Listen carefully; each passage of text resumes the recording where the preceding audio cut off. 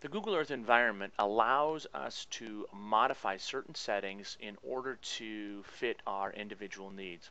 In this activity, what I'd like to do is I'd like to show you how to take and change the units of measure and also the elevation exaggeration.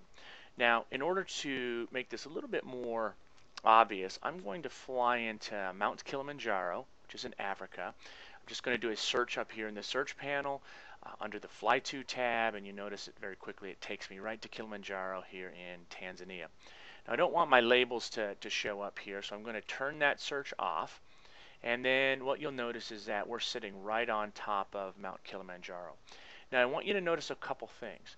Down here, as I hover over Mount Kilimanjaro, down in the bottom here, I have an elevation set up and an eye altitude set up. And so those are both measures that are in uh, American Standard Units, which is feet and miles. And as I zoom in a little bit closer to Kilimanjaro here, what you notice is that, that those uh, units change. Now I want to take and I want to turn the earth over so I can look at it, look at Mount Kilimanjaro as if I'm standing on the ground. So I'm going to click and hold my shift, I'm going to hold my shift key and then click my left mouse button.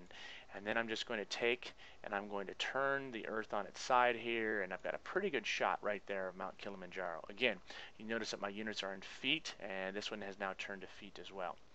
Let's say I want to take and make that mountain look bigger, to exaggerate it a little bit. In order to do that, I'm going to go to the Tools and Options menu. And if you watched any of the other videos, we went through some of these other tabs already. In this case, we're going to work with the 3D View tab.